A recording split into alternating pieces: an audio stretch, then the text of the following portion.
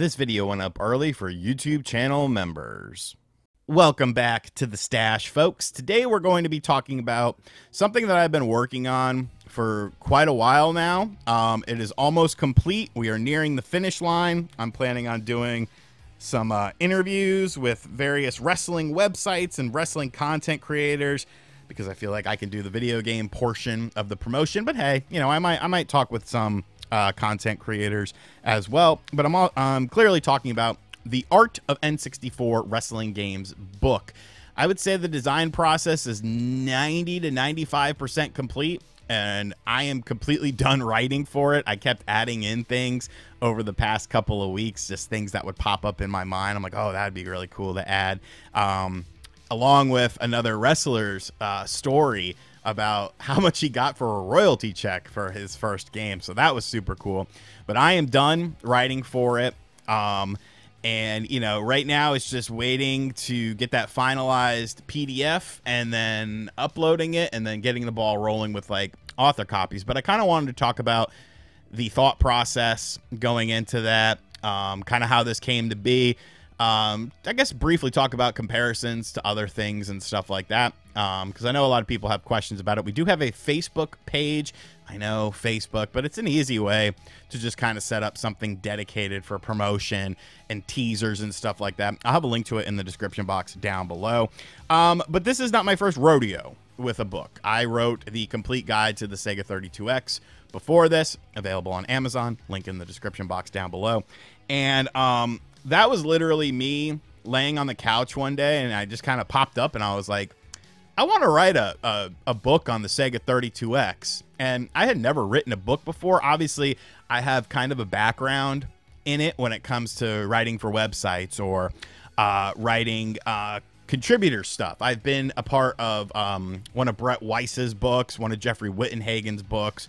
So, you know, I've dabbled my toes in it, but I wanted something that was just all me. And we'll talk a little bit about that more uh, as the video goes along. But I, I had the idea. I, I messaged Jason Lapine because he knows a lot of people. I was like, you know anyone who like does book designs? And he was like, well, I, I, I have software for it. I've never done it before, but I figured we could figure it out. I'm like, all right. So that's kind of what we went with with that. We had no idea what we were doing, but I think the final product ended up being like really good, especially for a first time sort of thing. We published self published through Amazon, which I know there's a stigma around that that you're not a real publisher if you self publish through Amazon. Uh, first and foremost, I have talked with several publishers about doing this book independently um, through their publishing companies. I just feel like Amazon gives people an easier way of accessing stuff. And really, if you look at how many reviews the complete guide to the Sega 32X book has on Amazon compared to a vast majority of other books that are video game related on Amazon, you'll see that one book probably has more reviews than the other. So I don't think that was necessarily a bad idea. We did pre-orders through Castlemania Games who was kind enough to basically I ordered a bunch of copies for myself I signed them, I shipped them off in a big box to him, and he distributed them to everyone who pre-ordered because we did it through his website. And like my goal with that book was to never like make a bunch of money off of it. Like I know some people like that's their livelihood, and that's cool. I just wanted to break even. I had to pay Jason um, for the design. I had to pay Joe Redifer from GameSack because I wanted him to read over all of my Sega tech analysis stuff to make sure I wasn't misspeaking or something like that but you know it all came out great. Uh, i broke even just on pre-orders alone. So everything else after that was was gravy. But that's kind of my backstory with writing a book. Now that i've gotten my feet wet i feel like you know i can kind of expand upon it. And you know a lot of people ask me like oh you're gonna do a game gear or saturn or something like that?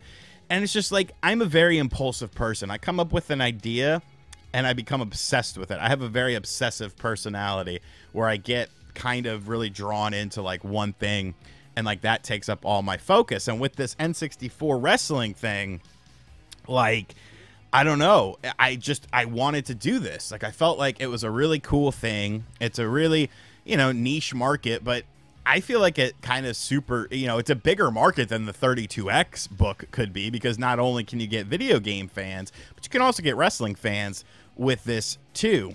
So once again, I reached out to Jason, and he was like, "Well, I I know someone." Who actually is a really good designer? Do you want me to um, set you up with her? I was like, I'll be real with you, Jason you know, I'm not the easiest person in the world to work with. So why don't you be like the liaison? You know, you be in the middle and I'll just tell you and then you could tell her. So that way, you know, uh, you know how I am. But this this girl knocked it out of the fucking park, man. When she started sending me previews, I was like, what wow. Like incredible presentation. Incredible presentation. Like I just I sent I did kind of a little bit extra with this book. Like I sent just kind of like 90s wrestling logos, arenas, kind of how the text was, the, the feeling of that time frame. And she just nailed it. Absolutely crushed it. Came up with things in terms of designs that I would have never thought of. And I don't think Jason would have ever thought of either. So we are nearing the finish line uh, with this book. Like I said, you know, she has done most of it um, I haven't gotten an update in like two weeks or so, but I've also added in things since that time frame. But obviously, you know, there's going to be some comparisons because there is an N64 games book coming out in September uh, that Pat Contri, Pat the NES Punk, is doing. But I feel like we're, we're two different sorts of things here. You know, Pat's book covers all the N64. He's got a lot of contributors and stuff. You know, it's a bit more utilitarian, more of like a, you know a reference book or something like that. Where mine is more you know flash and flare. You know what I'm saying? Like I uh, the the presentations are very different, and plus this is more of a, a niche thing. You know, covering not only the games but the homebrew projects, talking with people that are making the homebrew and mod projects, talking with wrestlers, having them contribute stories about what they remember about doing it, what it was like to be in it, or even wrestlers who, you know, have played the games and grew up playing them and are now seen on TV every week. So, I am I am very excited for this. Um, as far as how I'm going to do distribution, I haven't fully decided yet but I'm leaning mostly towards Amazon once again. I know fake fake author RGT over here, but I, I'm leaning towards Amazon again just because I'm familiar with it. And like when I talk to publishers, like they wanted to design it and they have their own people who like come up with the design for you and stuff like that. And like that's cool. And I know that's kind of what I'm doing right now but I just feel like I don't know, it would have been different. You know, I want to be able to say and come up with ideas and like that's what ends up happening. And you know, if I get a creative soul like I did with the designer of this who is like tapped in and like understands where I'm coming from because I believe she is a fan of wrestling as well and played some of these N64 games.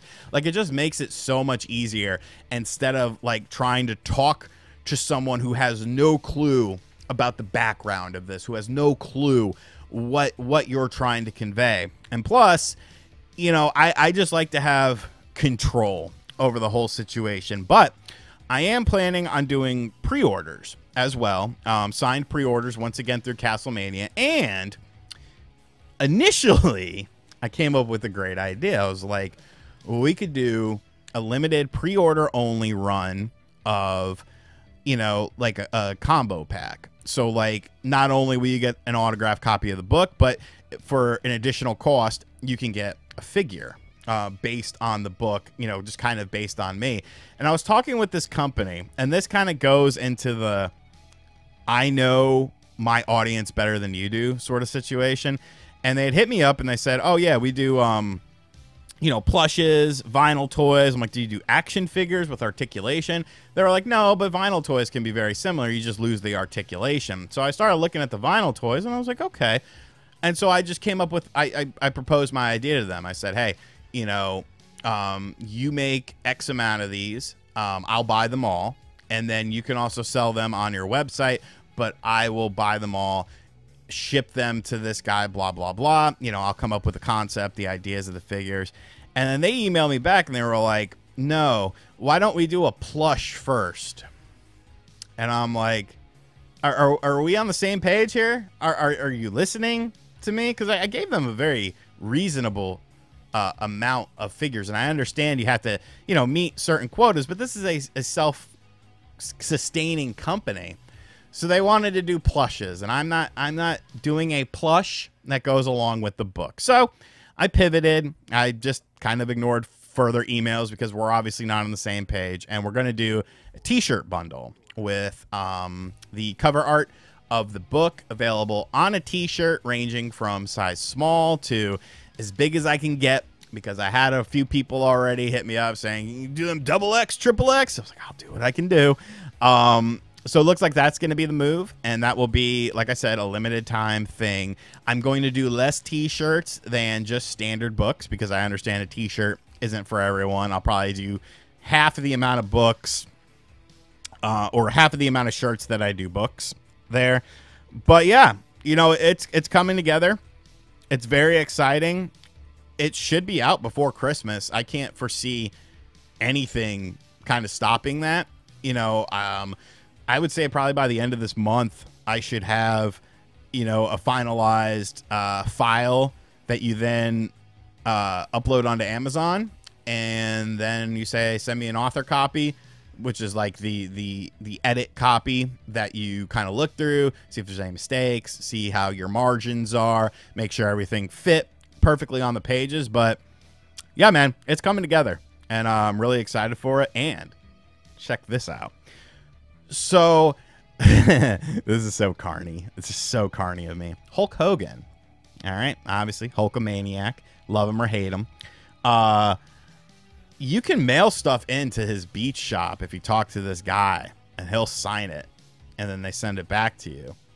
So am I going to have Hulk Hogan sign a copy of the Art of N64 Wrestling Games book that'll probably cost me like a couple hundred dollars just for your signature? You're goddamn right I am. And that'll sit on my shelf.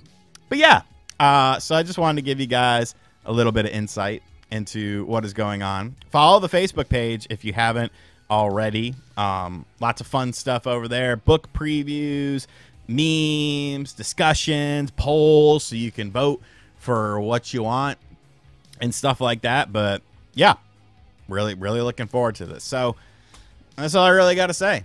Um, hope you enjoyed this video. Uh, of course, it went up for channel members first. And thank you guys to all the channel members out there. Consider becoming a channel member. You get cool emoticons and live streams, and you get early access to the videos. And as always, guys, I'll catch you guys on the next video. Later.